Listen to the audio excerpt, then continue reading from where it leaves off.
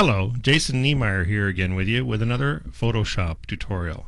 What we're going to talk about today is the Action tab. That kind of hangs out over here by the Histories tab in the History dialog box. Most of us don't really pay much attention to it. But I've been learning a lot about it and I'm going to tell you something. I love it. And after today, you're going to as well. Basically what it is is a recording device in essence. It records well, actions. What are actions? Actions are the things that we do to our images, such as free transform, cut and paste, filter effects. Just about everything we do in Photoshop to our images is an action. And as we know, actions can be quite a lengthy process. Can take up to 20, 30 minutes, sometimes even an hour on one particular image to achieve a desired effect. And that can be a rather you know, laborious and, and time consuming process to do to several images. So we can record all of those steps in an actions folder and introduce another image and with the touch of one button we can apply all those actions again to that image. Isn't that cool? Now if that isn't cool enough, what we can also do is say you have a client that wants to turn 500 color photos into black and white images and he's allowed you to go ahead and put your logo stamp on those as well. Well, you can actually bring in a batch folder, push one button, and it'll do that to all those images while you go out to lunch. How cool is that? Let me show you how it's done. Right over here in the Actions dialog box, right next to the Histories tab, you'll see this little button looks like a page peeling back. Go ahead and click that right next to the garbage can. When you do click it, you will see this Actions tab, New Actions tab folder come up. In it, you want to name our new actions. Now, the process that we're going to do today on a series of photos is a logo stamp and sharpening. Now, the, kinds of things that you want to use this feature for, the kinds of things that you could do to multiple images and you don't really have to babysit each image to do it, like you would if you were color balancing, for example. You want to pay more attention to that process on each individual image. So that wouldn't really work real well for this process, unless there's a way to color enhance pictures on a bulk level that I'm not aware of, then that just wouldn't work well for this, in my opinion. But I'm sure there's probably ways to get around it that I'm not aware of, but because this program is awfully powerful that way. Nonetheless, let's continue on with what we're doing here.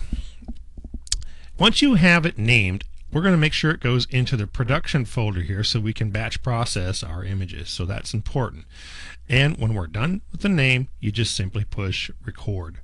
Now notice this little red light went on and there's our folder right there. Logo stamp right underneath that there. There it is. Okay.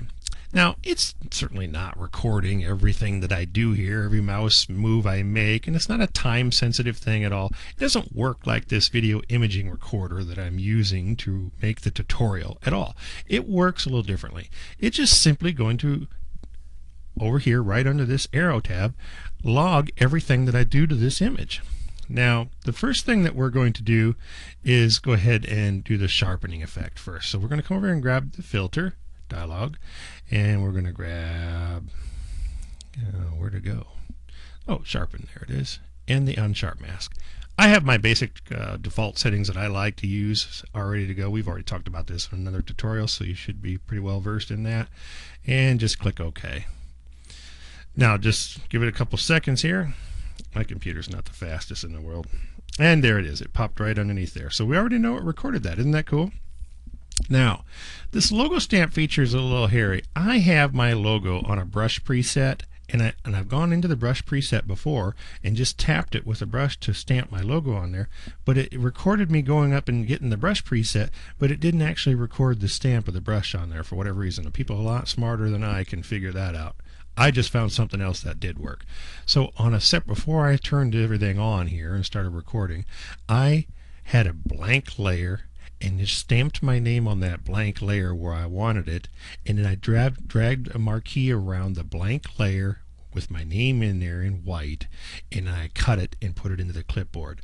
Now I'm just going to simply control V and it's going to paste there it is it pasted my name see and it also recorded that paste recorded it right there so I know now it's in there so the next thing I'm going to do now is go over and hit file save as and I want to save this in the folder that I have set aside for it. I'm going to my documents, my pictures, and I'm going to find my list here because I know I can find it quicker that way. Logo stamped action. This is a folder that I created for this. And I'm going to just go ahead and name them as or call them up as JPEGs and I'm going to write SAMPLE 1.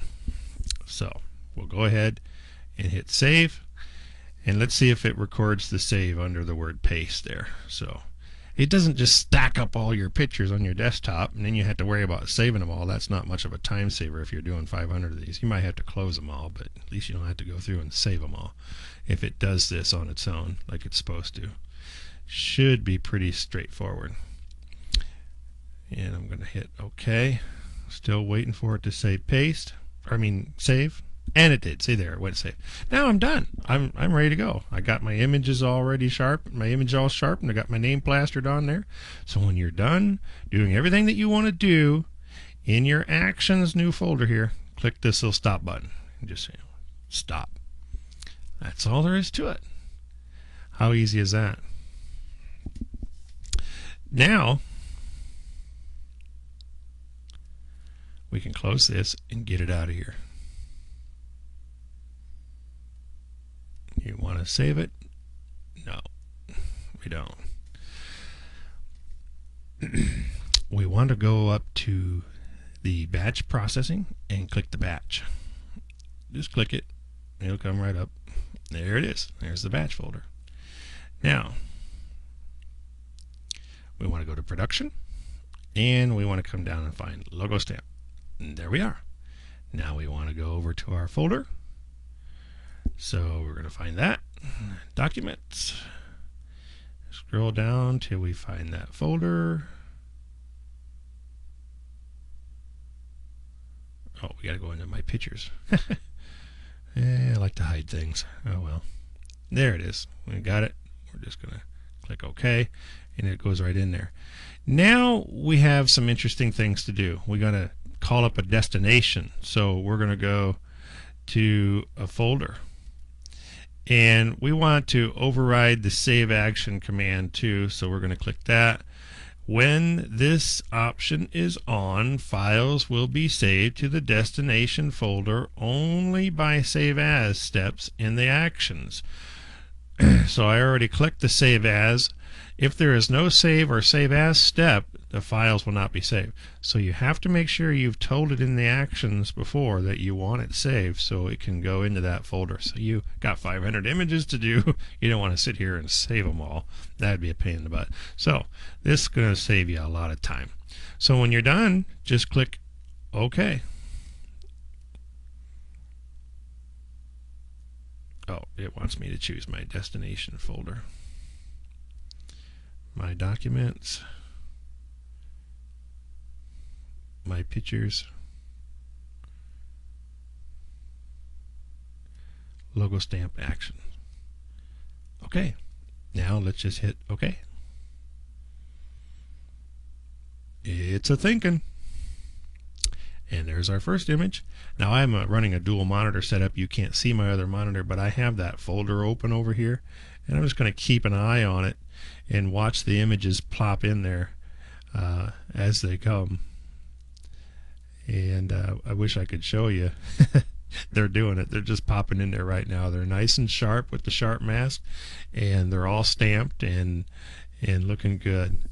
So this is pretty awesome. Um, I'm not exactly sure how long this is going to take. It might take a couple minutes, but the beauty is is that if you're in a production mode, you don't have to sit here and do your do it yourself. Your time is money. You can be going to another computer right now and doing other things. Um, or just like I said, go go eat something. Anyways, my name is Jason Niemier. If you have any questions about anything, let me know. I'd be glad to show you how it's done. Take care. We'll see you again some other time.